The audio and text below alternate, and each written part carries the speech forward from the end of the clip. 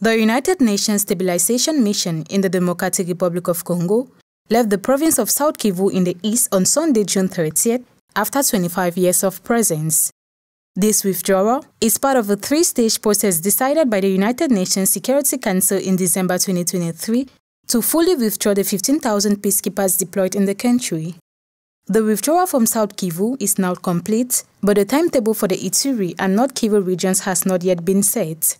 A ceremony was held in Kamuvu on June 25 to mark the withdrawal, during which the MONUSCO donated equipment worth an estimated $10 million to the Congolese authorities and handed over a heliport and a base at Rutemba near Uvira, the Congolese Armed Forces.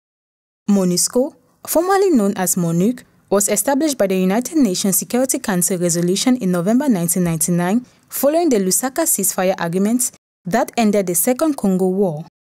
Over the years, the mission has been criticized by Kinshasa and the Congolese population for its lack of results and inability to protect civilians, leading to violent protests demanding its withdrawal. MONUSCO's departure comes as North Kivu province is the scene of a major offensive by the M23 rebels, allegedly backed by the Rwandan army.